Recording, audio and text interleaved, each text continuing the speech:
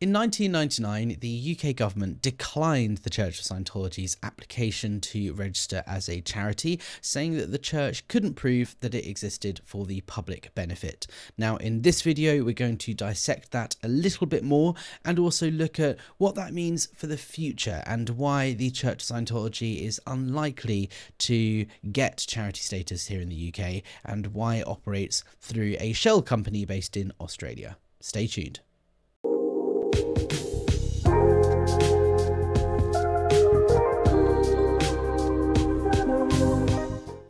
So, as I mentioned, the Church of Scientology currently operates in the UK through a shell company called the Church of Scientology Religious Education College Incorporated, COSRECI for short. Um, so, when I worked for the church as the director of public book sales at their London org, I got my pay slips, even though I didn't get paid very much. I did get a pay slip and I did pay tax on that income, um, which is shown in my personal HMRC tax uh, account online um, as being paid by uh, COSRECI, which is an Australian based non profit organisation. Now, there's a reason that the church doesn't operate through a UK based company here, and that's because in 1999 they applied to become a charity and they were declined. I did a video on this earlier a few days ago about why they were declined and what the UK government said about Scientology. But in this video, I'm going to dissect what a charity is in the UK and why it's unlikely the church is going to ever get a charity status and why it might just be more effort and more hassle than it's worth for them um, because it's it's a little bit more protected here. Now, I think if we compare the UK setup to the US setup, it's very clear that things are a little bit different here. In the US, um, Scientology got their tax exempt status by saying we're a religion and therefore we don't have to pay tax. And then hounding the IRS, the um, American Tax Office, um, with thousands and thousands of lawsuits until they basically gave up um, and they gave them tax exempt status. Now, in the UK, it's a little bit different. Um, if you want to set up as a charity, which means you don't pay tax on your income and a load of other things, um, you can't just say, I'm a religious organization, we, we exist for a religious purpose, and therefore we, we get the charity status, there is a clause that says you have to prove you exist for the public benefit. Now, this is um, a really protective clause that shows you can't just set up um, something and, and claim you're tax exempt because you're religious. Even if you are religious, you have to show that you're you're helping your community or helping the local area or helping the group of people that you're aiming to help. Now, I want to dissect this a little bit further. So when we look at um, how we got paid as staff members, there's a lot of questions I get about this and how we got away with not receiving minimum wage. So I wanted to share first off the rules on minimum wage here in the UK. Now, in order to um, have any sort of paid job in the UK, you have to get at least the minimum wage, which is set by the government. Um, and it's pretty much anyone who works in any sort of job, you get the minimum wage. Um, there is a slightly lower rate for apprentices if you're learning or, or something like that. You can get paid a little bit less, but you still have to be paid a certain amount. Um, and there are some exceptions to the rule. So these are the people who are not entitled to the minimum wage. So self employed people, company directors, and so on, armed forces. Um, and the list goes on, but this is where Scientology come in. People living and working in a religious community. So if you're working or living in a religious community, you're not entitled to the minimum wage. Now, it's a bit of a tricky one here because there is no body that um, verifies whether something is or isn't a religion in the UK um, law or government. So even though Scientology isn't a charity and therefore isn't tax exempt and therefore doesn't exist for the public benefit, that doesn't mean they're not a religious organization. So this is how they got around it when we got our paychecks every week we would be classed as religious volunteers. So we wouldn't be paid minimum wage. The amount we earned was based very much on how much the church made the following the, the week before or or the week before that even, um, and how much we earned on a weekly basis was based on that. Um, we weren't ever paid minimum wage, um, but they don't have to, by law, pay minimum wage for religious volunteers. Now, if we look a little bit more into charities, it's going to be a little bit more of a headache um, for the church if they were to become a charity than if they were to carry on operating as they currently are. Now, as a charity in the UK, you have to spend, um, I'm pretty sure it's 100% of your income. You have to spend all of your money on whatever cause it is your charity exists to try and help. You're allowed to have a reserve and have savings to help, you know, ensure the charity can carry on existing and so on. Um, but you have to really clearly define that. Um, if we look again at this website here, this is the the um, Gov website again on managing charity finances.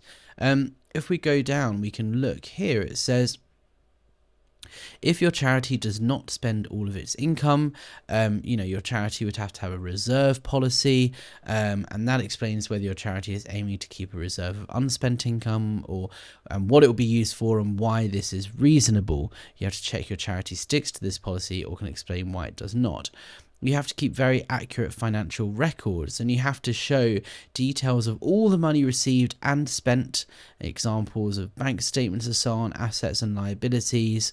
Um, you have to keep these records for six years or three years, so on.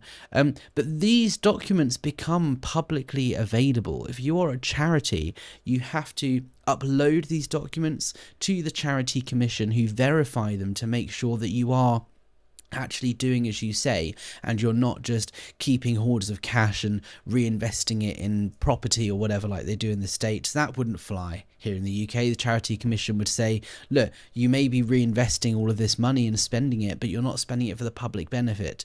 So you, they're really on it here in the UK and you'd have to prove that you're spending your money on actually benefiting um, your members or the people you're trying to help. So all of those documents become publicly available. So if the church were to be a charity, it would open up their financial records here um, way more than they currently are, um, which is one of the reasons I wonder if they're just not in any particular rush to become a registered charity here because they don't want to expose all their finances. At the moment, they spend a lot of their money um, on property and renovations and things like this, which is fine to do. It's okay according to the charity law to do that.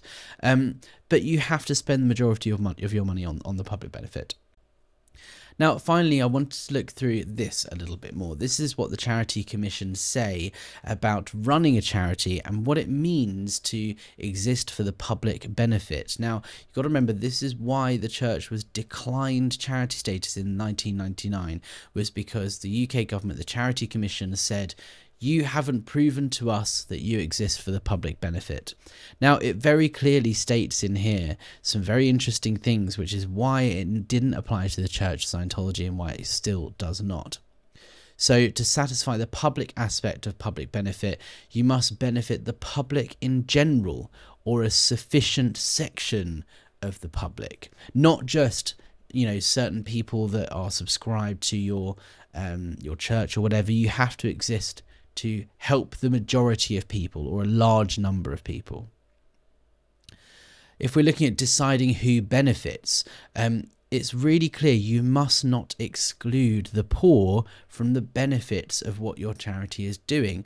As a charity, you have to be as open and inclusive as possible. And by excluding poor people, um, the Church of Scientology would never ever, um, in a million years, get their tax exempt status, their charity status here, because Nothing in Scientology is free. You can go to a Sunday service, which they do every Sunday in the church, um, which is a free group auditing session. There are a limited number of things that you can do for free, but in terms of actual processing, auditing, the services, the life improvement courses, you know, even the very cheapest introductory ones that are £30 are still £30. You can't get them for free unless you volunteer your time to work for the church. Church Scientology doesn't offer any of its services for free.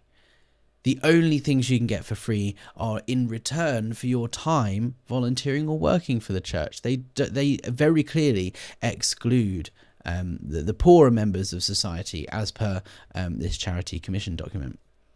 Um, limiting factors, for example, charging for a charity's services. It says you are allowed to charge for your services, um, but you have to do so in a way that doesn't exclude the poor.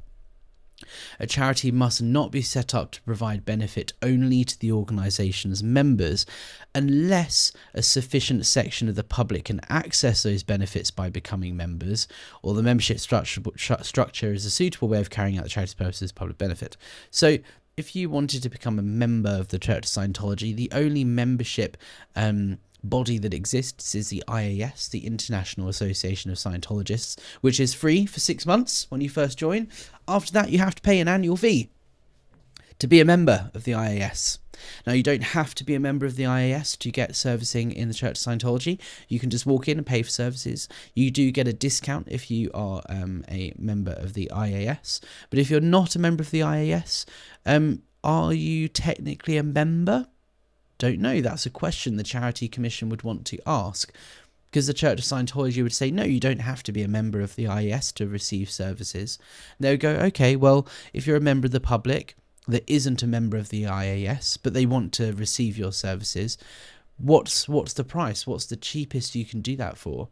and they would find very quickly that actually that price is exclusionary. It's, it excludes the the poorest members and those who are most in need in the UK we scroll down a little bit here, it says very clearly that charities can charge for the services. However, where the charity's charges are more than the, what the poor can afford, its trustees must run the charity in a way that does not exclude those who are poor. It says, for example, if we carry on scrolling, this document is fascinating, by the way. Examples of charges that the poor can usually afford include. Now, this is the Charity Commission just giving an example of where a fee that a charity could charge would be acceptable and considered not um, exclusionary. You know, membership fees of a few pounds paid by local residents hire out a village hall. Small entry fees to attend events at a community centre or visit an historic house or site, the cost of an annual library card, low ticket prices to see a production by an Amdram society, low hourly fees to use charity public internet terminal, a small subscription or membership fees to join a play group, the scouts, the guides. You know, these are all things that cost a few pounds. These are not things that cost thousands of pounds as Scientology services do. Now, things like the introductory services will cost a lot less. You know, the first course I ever did in Scientology was £30, but that's still a lot more than these um, examples of things that charities can charge for that is acceptable and doesn't exclude the poorest of the community. Now, that's all I kind of had time for today that I really wanted to go through. Just if the char- if the Charities Commission were to accept the Church of Scientology's um, application at some point, if they were to reapply, it would be more work than they would be up for. Yes, they would like it because they'd have this badge on their name, but they have a lot to prove, and I don't think they're going to be able to do it. Let me know what you guys think down below and if there's anything you want me to cover in my next video, um, leave a comment. If you want to support the channel, you can always buy me a coffee with the link in the description or head to the, the channel. There's a link there as well. Uh, but the best way of supporting is commenting, liking, sharing, all that sort of stuff. So thank you for sticking with me and I will see you guys on the next one.